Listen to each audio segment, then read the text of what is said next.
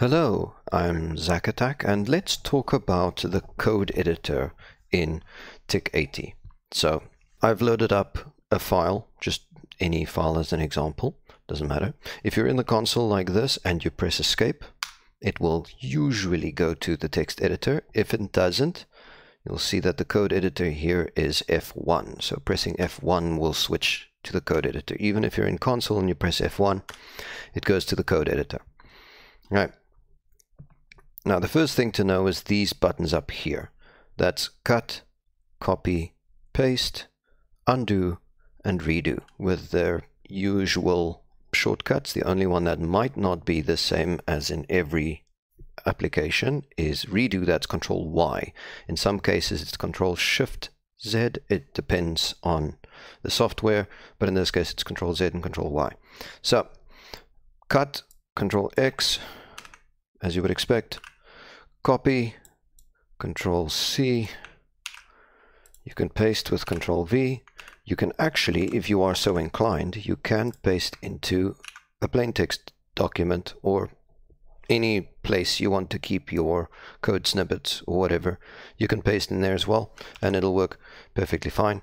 You'll notice that the tabs in this one are super wide because that's the tab setting for this text editor, even though in TIC80 tabs are only a single space wide, but it comes down to the same thing.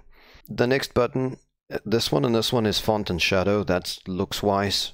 Then the next most important button is run, control R. That's the same as typing run in here and it'll run your game. You can also click this button to run your game or press control R like it says, which would also run your game. The next button over is a little bit of a tricky one. I think this was mostly put in for mobile users or people with a touch screen, and that is drag. If you click this, you'll see the button is highlighted. Now if I drag the mouse, which is a little hand, hi, now if I drag the mouse, it scrolls.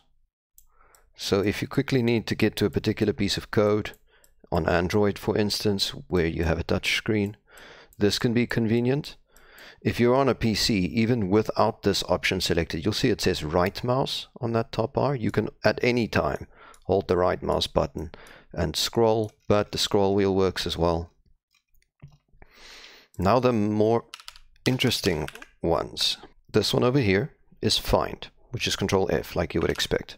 Pops up a little find bar at the top, type what you need. Uh, I don't know. Let's see if there's, there's nothing named debug in my thing. Let's use center. There's my print center call. Pressing up and down on the, the arrow keys. We'll scroll to the next match until it reaches the last one and then it won't do anything. Pressing up goes previous until it finds the first one and then it won't do anything. And if you find the one you're looking for and you press enter, the find function goes away and the text is selected. You can also select the name of a thing. I just double click to there to select the whole word. Double click selects the word or the variable or the whatever. Then if I press Control F to find, it auto-fills that. So if I want to see where else I used this active player thing, that's a quick way of doing that. And then pressing up shows me everywhere that I have that word written the way it is in the text that's in the find box, which was what I selected. Next up, oh, pressing escape cancels, obviously. Next up is go to. Now there aren't line numbers on the left here. See that? See that little symbol, that little bookmark? I'll get to this. We do have line numbers, like any good coding program. It doesn't display on the left like code editors normally do, but they do exist. So I'm on line 261. If I want to go to, to say line 250, just type line 250 in here, pressing enter, so goes to the beginning of that line and allows me to continue editing as normal. So if you break something, what's a good example? I'm just going to do this so that when I run my game it breaks. Your debug error will say that. That's a line number, 249. Go to 249, here somewhere, uh, there, and I can fix it. Okay, that's how goto works. Every time I save the file, it pops over that bar, so that's a little annoying when demonstrating the bar itself, but mm, can't be helped, I guess. I'm a compulsive saver. I hit Control S in my sleep. The next button, this is an interesting one. So these are bookmarks. If you are anywhere in code and you would like to return to this quickly, press Control F1 and it adds a little bookmark at the beginning of the line. You can also click in this margin to turn it on and off. Now if I open the bookmarks bar, there's the line I just bookmarked. You can also, and then you can just click on the one you want or up and down and enter to get to the right one. You can also, if I have a different line bookmarked, you can press F1 to pop between the two. There is this weird bug where it selects the text in between. So normally I just suggest moving before you start typing just in case it does that.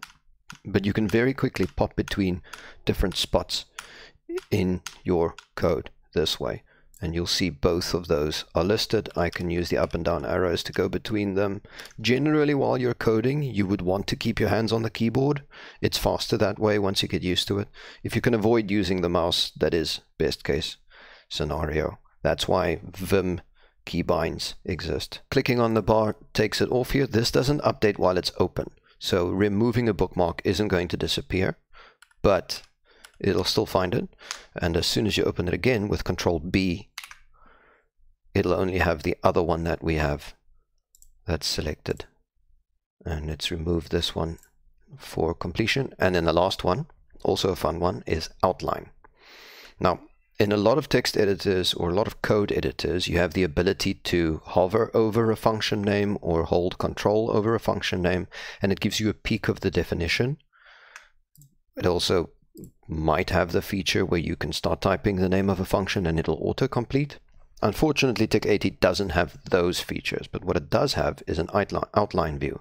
So over here, I can see that I used this print center function. So if I want to find it, control O or click the little outline icon in the corner shows me the names of all my functions in the order that they appear in the file.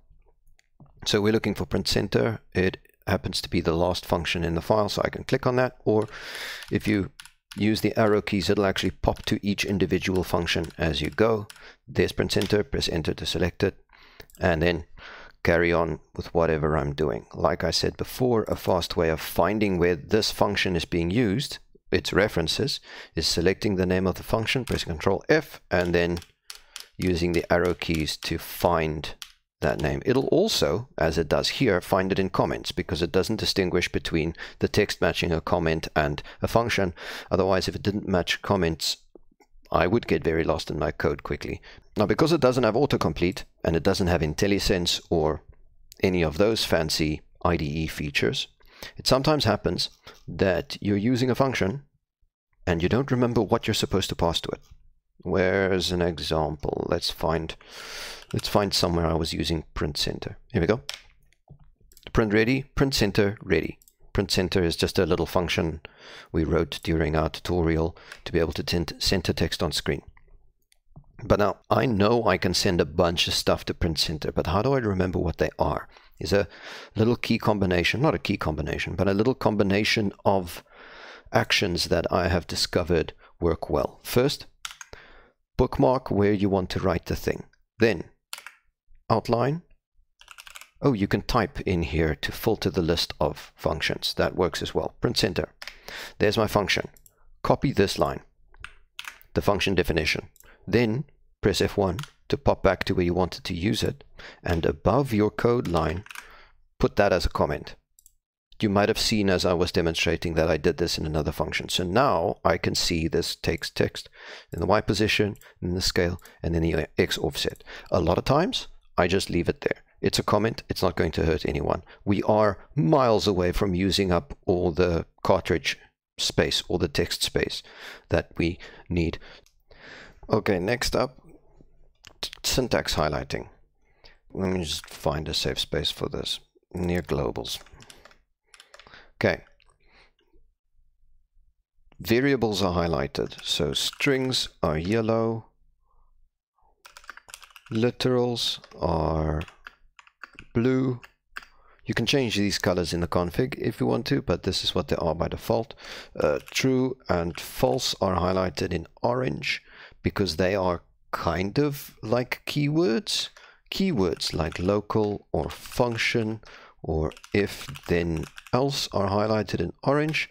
Easy way to see if you misspelt something. API references, so sprite or print are highlighted in green. The problem is your own functions. So we know print center is the name of a function. This is not highlighted and it's also not auto-completed in any way. So you'll just need to remember how it's spelled or open this thing and go check how it's spelled and then press escape so you don't lose where you are. Something else that bugs me a little bit is the fact that Lua's built-in functions, like there's an entire class of math operations, math.random, math.min, or math.max. None of this is highlighted. So if you do need to use these, you can look them up. Lua is a reasonably simple language. It's like the Lego blocks of coding, I usually say. So there's not much to remember, but knowing that math.min exists and remembering what you're supposed to pass to it in what order to make it work, a little different. So it is useful to have those open on the side in, in the browser or print yourself a cheat sheet. Anyway, I think that pretty much covers everything. TIC80 has some features that allow you to get your stuff done quickly, like this. This outline tool when I figured out this was a thing, after using TIC80 for months, I only discovered this. And it is an absolute lifesaver to see how things are spelled, find them quickly, and so on.